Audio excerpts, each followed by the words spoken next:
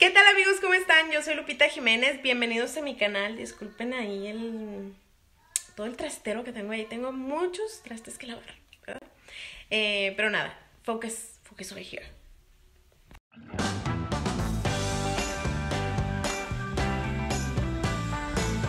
Como ya leyeron en el título, vamos a preparar una deliciosa capirotada hecha con conchas. Súper riquísima que va a quedar. Perfecta para esta cuaresma, puede ser de postrecito, eh, que si te sobraron conchas, pues puedes hacer esta receta. Espero que les guste mucho. Vamos a ver los ingredientes, cómo se prepara esta delicia. Cuídense mucho.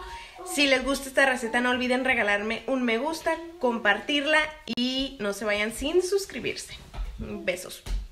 Amigos, para esta receta vamos a necesitar una lata de leche evaporada, una lata de leche condensada, tres huevos, voy a usar coco rallado, pasas, almendra fileteada, una rajita de canela, mantequilla, también en total cuatro tazas de leche, vainilla, conchas, por supuesto, un refractario de vidrio y algunos utensilios como el batidor y la espátula.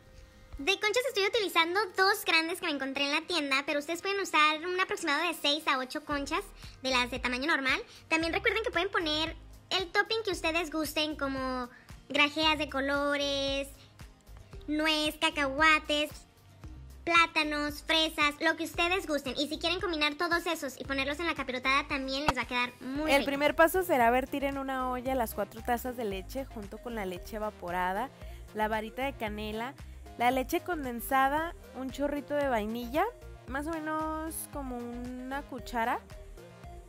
Y esto lo vamos a dejar hervir a fuego bajo. Le toma más o menos como unos 10-15 minutos. Hay que estarlo checando constantemente para que no se nos vaya a pegar.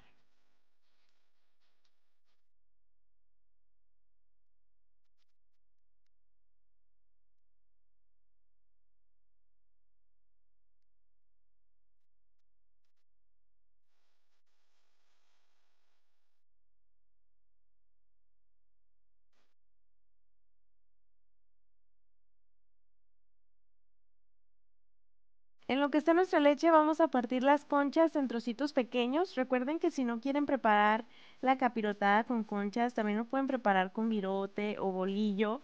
Eh, nada más recuerden dejarlo que se endurezca un poquito para que no quede muy, muy aguado a la hora de, de hacer esta capirotada.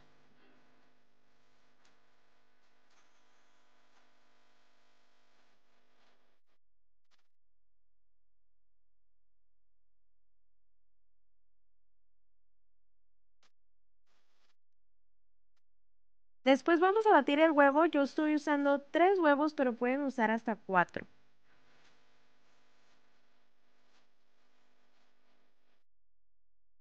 En estos momentos mi leche ya hirvió y ya apagué mi estufa. Aquí es donde voy a agregar el huevo y lo voy a poner poco a poquito y moviendo la leche constantemente para que no se nos vayan a cuajar.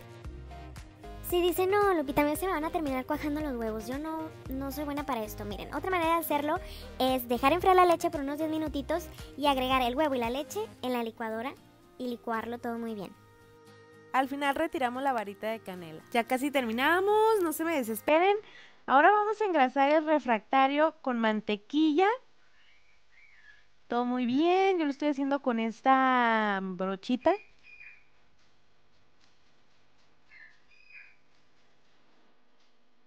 Encima vamos a colocar la primera capa de concha. Ay, Dios mío, esto ya va agarrando forma.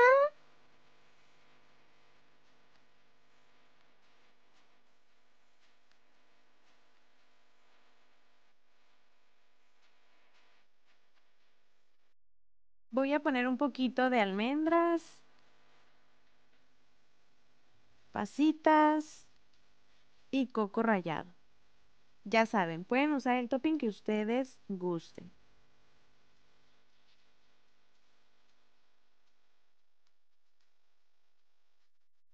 Después vamos a acomodar la segunda capa de conchas.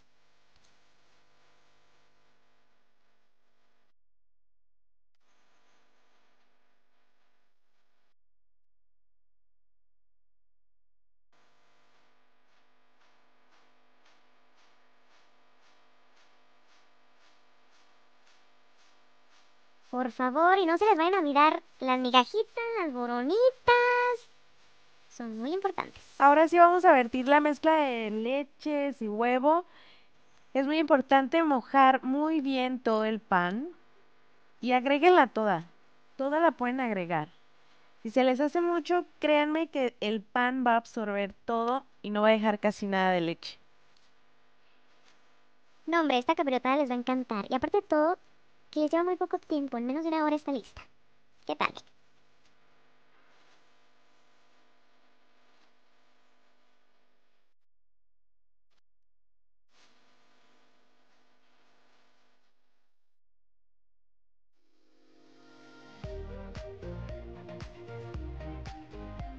Ya por último volvemos a poner otra capita de almendras, coco rallado y pasas.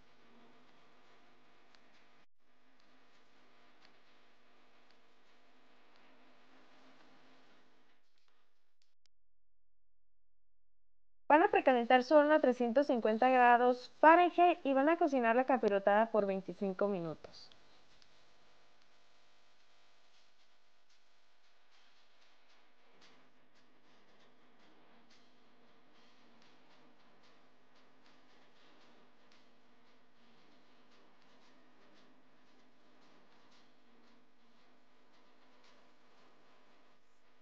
Listo amigos, esta capirotada ya está ready, ready to go. Miren nada más, ¿a poco no se les antoja? Mm, los invito a prepararla.